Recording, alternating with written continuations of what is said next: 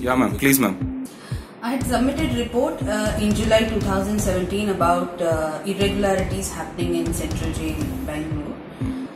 And upon this uh, report of mine, uh, government had ordered an inquiry by the retired IAS officer Vinay Kumar. Um, he has already submitted the report, and now government has uh, uh, gone through the report and now ordered an inquiry into this, that is the corruption angle. The government has said that ACB, Anti-Corruption Bureau, shall investigate after registering a case under Section 13.1c and 13 Clause 2 of uh, the Prevention of Corruption Act 1988.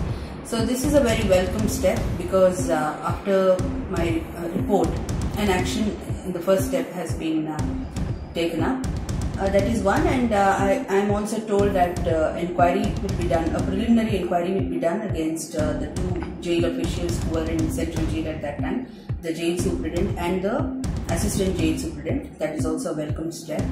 Um, and there is also an uh, inquiry which, which would be done by the Department of Personnel and Administrative Reforms into whether I have uh, violated uh, service rules, all India service rules. So that is also welcome, and I'm damn sure, I'm very sure uh, that uh, I have not violated any service rules. I have nowhere criticized the government, and uh, I have only brought out maladministration in a government organization.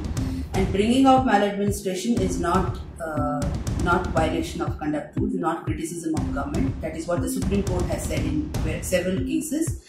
Uh, I've acted in the most uh, accountable and transparent manner. These were the two new words introduced into the service rules in 2014 August. So I've acted as per that.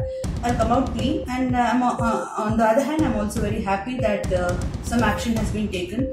A case uh, will be registered now and will be looked into. And earlier you got